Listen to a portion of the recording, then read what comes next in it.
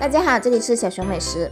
西红柿是生活中常见的食材之一，可以炒着吃、拌着吃，也可以生吃，营养非常丰富。今天就来给大家分享一个如何辨别激素西红柿的小技巧，跟着视频一起来了解一下吧。第一，要挑选大小均匀、圆润的西红柿，这种西红柿就是自然生长的，不要挑有棱有角、畸形的西红柿。这种西红柿就有可能是激素催熟的，在买的时候仔细观察，就会发现对比非常明显，圆润和畸形的西红柿。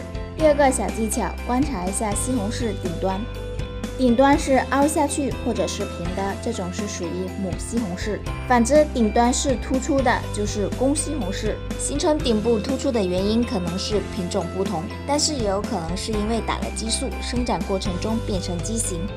所以挑选顶部凹陷下去的，也就是母西红柿比较安全。第三，挑选表面看起来星星点点的这种西红柿，内里是沙瓤，生吃比较好吃。第四，不能只看西红柿的果蒂，我们应该把西红柿的果蒂摘开来看看。如果是绿色的，则表示这个西红柿还没有成熟的时候就被采摘下来了。正常成熟采摘下来的西红柿果绿里面是黄中带白，这种西红柿就是自然成熟。